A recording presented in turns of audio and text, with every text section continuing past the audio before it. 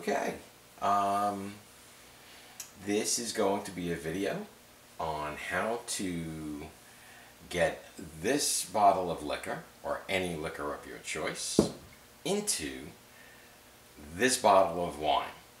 Perfectly sealed, uh, an untouched cork, um, and shrink wrapped.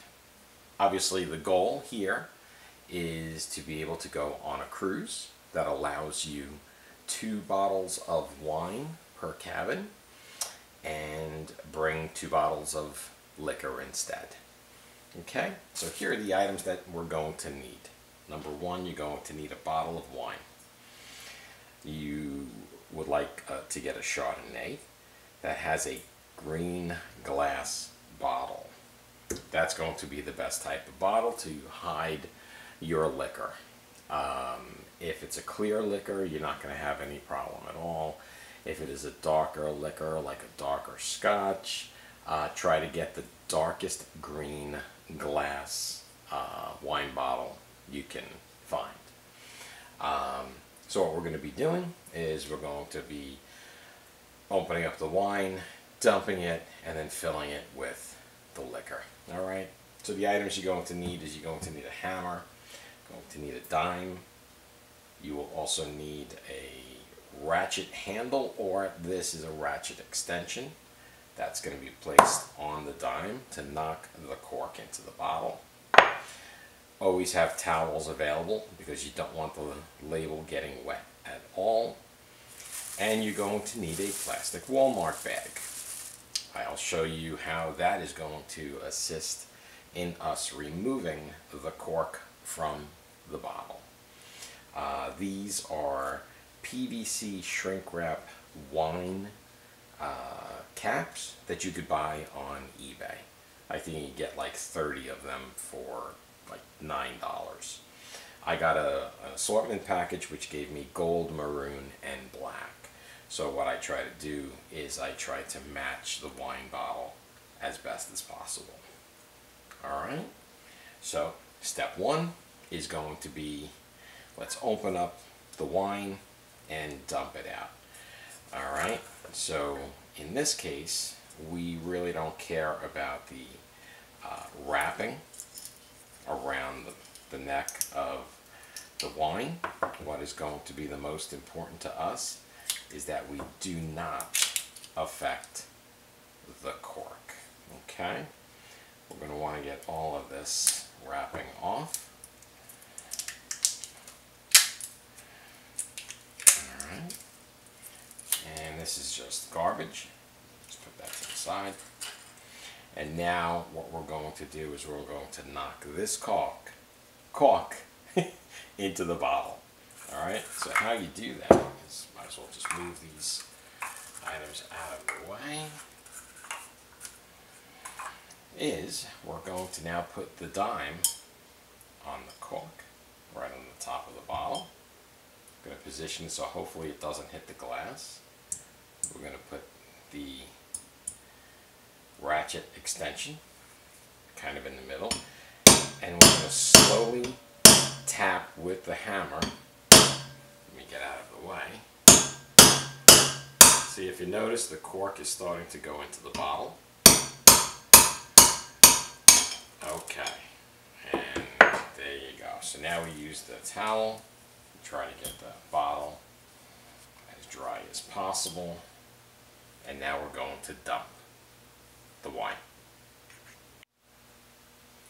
Okay, we are back. Alright, all we did was open the bottle of wine, we dumped it down the sink, and now it is time to get the cork out of the bottle. Alright, that's what the Walmart bag is all about. Alright, so what you do with the Walmart bag is you need to straighten out the bag and you need to start to turn it like this so it's nice and skinny because we're going to put it in the bottle. Alright? So, now that it's like that, the next step is you have to get the cork and get it into the neck like that or have it ready to get into the neck. So what we're doing here is we're now pushing the bag, if you could see, into the bottle, okay, and shaking this so the cork will come down the neck. Now, we're going to open up the bag enough, I'm going to have to turn this around here, so we can blow into it. Alright? Get this.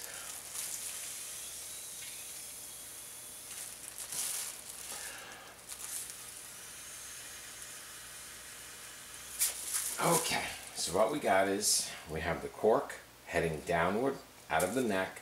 We have the Walmart plastic bag inflated with air. So now what we're going to do is we're going to turn this as tight as possible. Okay, we're going to hold on to that and we're now going to pull the plastic bag with the cork. And I have to give it. All right, so hold on. And of course it went under the stove.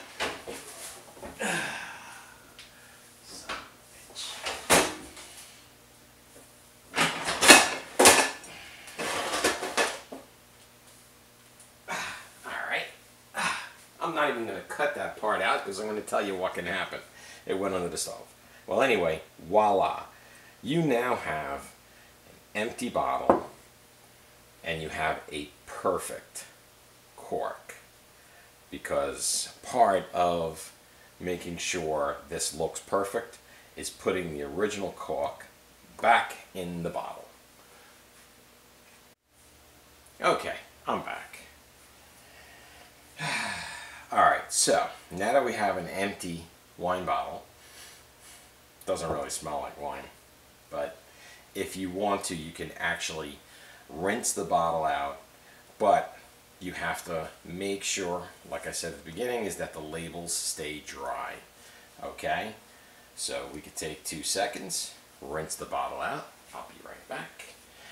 And uh, this way, your alcohol or vodka or whatever you're putting in the bottle doesn't have the taste of some really cheap wine. Okay.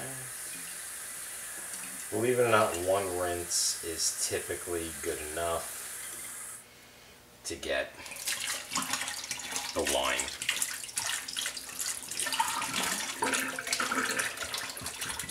Out. Okay.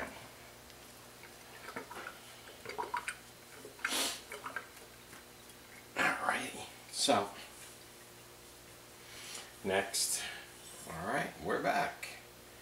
So next is we need to get the booze into the bottle. And that's as easy as you want it to be.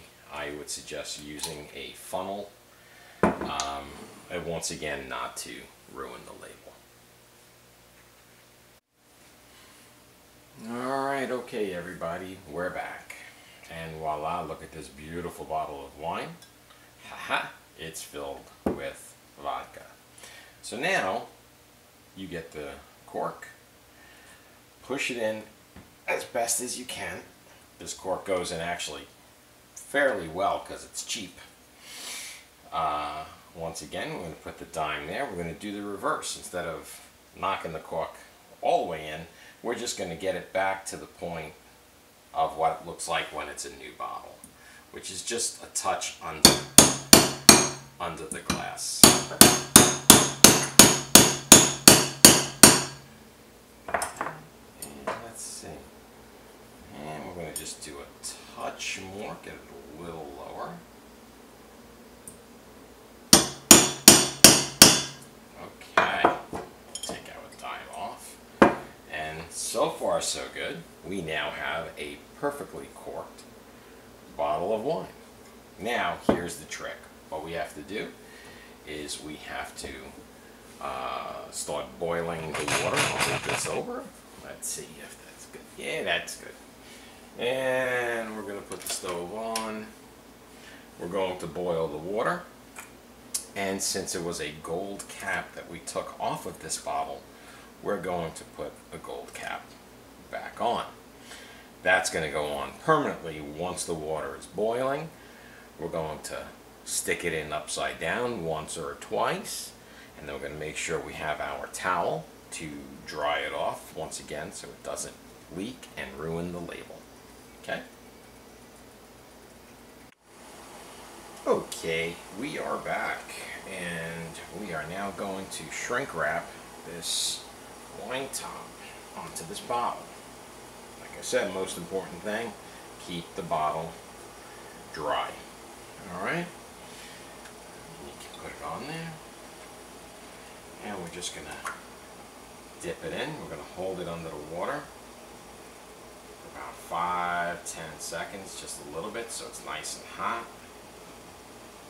And we're going to take it out.